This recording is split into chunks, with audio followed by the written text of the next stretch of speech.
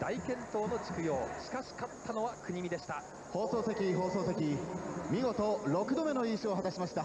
長崎県国見高校小峰総監督です。おめでとうございます。どうもありがとうございます。これで帝京の小沼さんと並ぶ戦後最多6回目の優勝になりました。いかがですか？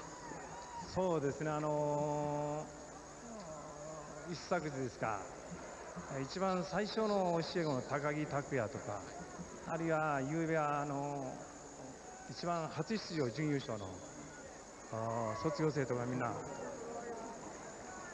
なんかなできるように来ましてね。そのような多くの先輩方のねおかげでこの6度目ということができたと。したがってその地盤を築いてくれたあ卒業生たちに感謝したいですね。そして6度目戦後最多になりました。まさに金字塔になりますけれども。そうですね、あのこれはもう今年の選手はもちろんのことながら、過去の多くの卒業生、そしてまた、えー支えてくださいました保護者、学校関係者、長崎県民の皆さん方、えーそしてあの小学校の時いろいろと出会いを作って、小学校、中学校指導していただいた、そして私のところに預けていただいたこの多くの皆さん方のね、えー総結集がこの勝利につながった、そしてまたこのお大偉業につながったんじゃなかろうかと思いますね。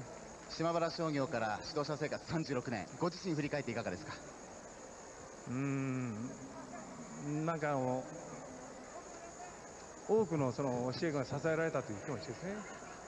次の目標は単独最多の7度目ですねまあそんな簡単にできると思いませんし、あの一つ一つチャレンジしていきたいと思います。